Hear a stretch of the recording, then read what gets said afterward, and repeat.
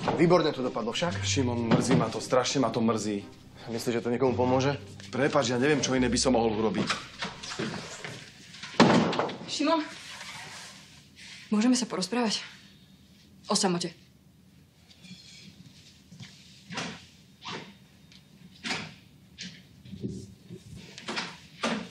Naozaj si Ivanu zatkol ty?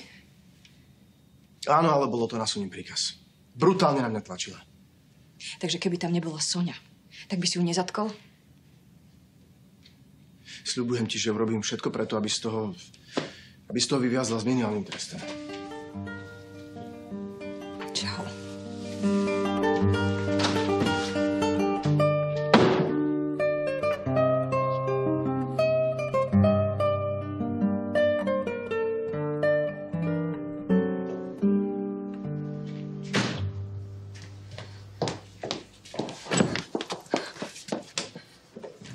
Ste sa kam vybrali? My, ja, ja chcem vidieť svoju dceru. I hneď. To nemôžete. Ivana Berková je vo zvláštnom režime, nesmie príjmať návštevy. Že sa nehambíte. Ozajstní kriminálnici vám behajú cez hranicu ako divé zajace a vy zatýkate nevinné dievča. Veď je to ešte len dieťa. Je plnoletá. A my nezatýkame nevinné dievčatá, len také, ktoré pomáhajú kriminálnikom pri úteku. A to ste si z ktorého prsta vycucali, že mu pomáhala? Vy sa správajte slušne. Pristihli sme ju príčine, takže vaša dcera je tým pádom tiež kriminálnička. Moja dcera nie je žiadna kriminálnička. Ja, buď ticho. O, prosím vás, o, ako dlho ju tu chcete nechať? Čo s ňou teraz bude?